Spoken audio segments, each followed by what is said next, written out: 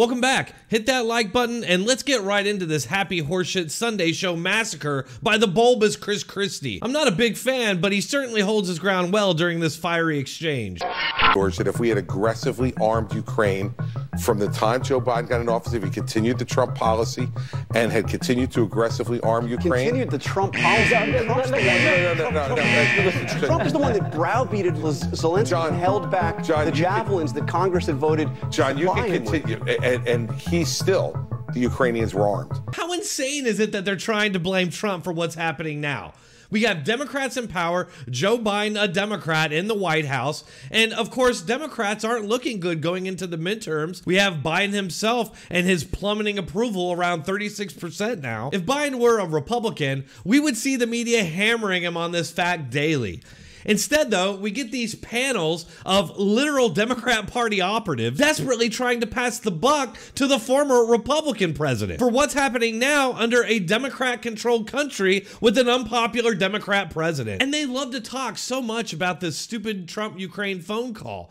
But as Christie rightly points out, they still got their weapons. When you see all these pictures of smoldering Russian armor, you're looking at the result of Trump's policy of arming Ukraine. What you're seeing in this video is essentially a column of uh, Russian military vehicles, armored personnel carriers, other vehicles part of that convoy that appear to have been completely destroyed by Ukrainian forces. Which would have been even better if Slow Joe hadn't ended the policy. Second, as I've pointed out many times, both times this has happened, Biden has been in the White House. Biden also withheld congressionally approved funds from Ukraine until they did what he wanted in regards to a lawyer who was investigating Burisma. A point all of these hacks gloss over, never be spoken of again, unless of course Christie were to bring it up, but then they just have an excuse of it's different when they do it. We're still getting to the best part, but just give me a minute to tell you about this special offer from preparewithdronetek.com. Friends, big dangers are all around us these days. To survive what's coming, you need to be prepared and self reliant. That's why I recommend getting yourself some cryptocurrency, some land, some gold, but especially a proper stockpile of emergency food. It's easier than you think. Go to preparewithdronetek.com right now, and you'll save $50 and get free shipping on a generous four week supply of emergency food from My Patriot Supply. They've served millions of people who are prepared for what's coming. This food stays fresh for up to 25 years and will be there when you need it. So do yourself a favor and go to preparewithdronetek.com where you'll save $50 and get free shipping on a four week emergency food kit, which gives you breakfasts, lunches, dinners, drinks, and snacks. Totaling over 2,000 calories a day. When things get ugly, you'll be glad you have this food kit. Don't get caught unprepared. Go to preparewithdronetek.com right now. That's preparewithdronetek.com. and he still, the Ukrainians were armed. And in January of 2021, Joe Biden stopped that policy. The same way he reversed domestic oil production policy. Just in North Dakota alone, half a million barrels a day reduced because Biden prevented us taking it out of uh, federal lands. We import half a billion barrels a day from Russia. We could stop paying blood money to Russia to fund this war if we would increase domestic oil production. But that goes against the president's climate- Exactly. Like I've pointed out many times on this channel, these people have a cult like dedication to replacing fossil fuels with reusable energy. A goal that I fully support someday when we can actually do it, but not now when we're not able to switch over because it's not yet cost effective. Or maybe it is now? I don't know. I think if it were cost effective, it would have already replaced fossil fuels. I mean, it's just simple math. Then kneecap yourself when in fact you could be energy independent. While our foreign adversaries, whom both we and our allies are right now dependent on for oil, invades our allied countries and threatens us with nukes if we get involved. How could this possibly succeed? It obviously can't. But of course, even though Biden cut our domestic oil production, that again could make us independent from Russia or anyone else's oil. Solving all of these problems and actually making it easier to improve our reusable energy. And even though he stopped sanctions on the Russia Nord Stream 2 pipeline, using the relic of Jim Crow filibuster, no less. And even though Biden straight up told Putin that he could have a minor incursion, and even though Biden didn't arm Ukraine, not during the Obama years or now, but even though Biden's made all those other idiotic moves, somehow this panel of alleged nonpartisan professional journalists just scream that it's Trump's fault.